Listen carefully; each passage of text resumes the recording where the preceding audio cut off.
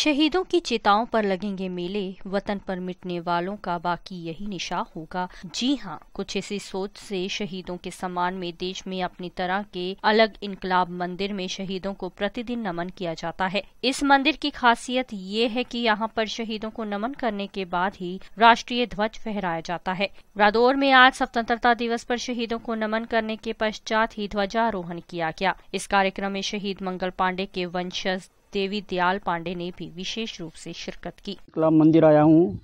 यहाँ पे ये आज़ादी के पर्व का कार्यक्रम हो रहा है। तो यहाँ पर मैंने देखा कि सबसे पहले यहाँ पे जो देश के लिए हमारे वीर शहीद कुर्बान हुए हैं, देश के लिए आज़ादी के लिए कुर्बान हुए हैं, उनको सबसे पहले यहाँ पे नमन किया जाता है। और ये इनकलाब मंदिर में एक नई किस्म की मैंने पहल देखी है।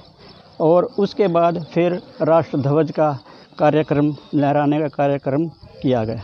हमने आज़ादी का पर्व सर्वप्रथम वीर शहीदों को नमन कर उनको श्रद्धांजलि देकर मनाया है और हमने उन वीर शहीदों को नमन किया है जिनकी बदौलत आज हम खुली हवा में सांस ले रहे हैं, जिनकी कुर्बानी, त्याग और बलिदान से हमें ये दिन आज का देखने का गौरव प्राप्त हुआ है।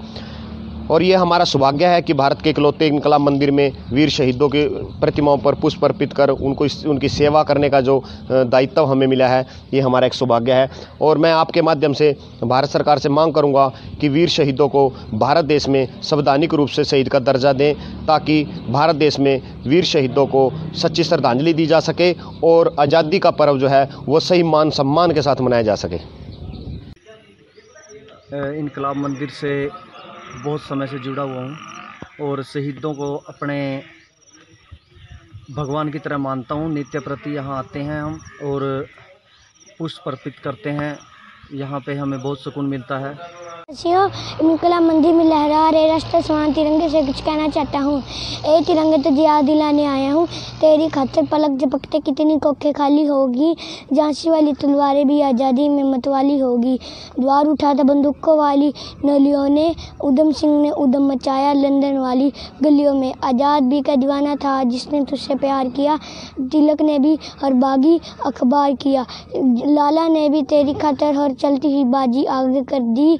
गोरे की लाठी को टक्कर देने के लिए अपनी छाती आगे कर दी। जलिया वाला बाग, जिनका इनकलाब सुनाता है, उनकी दो सासों के बल पर तुआती लगला रहता है, तुआती लगला रहता है। जय हिंद, जय भारत।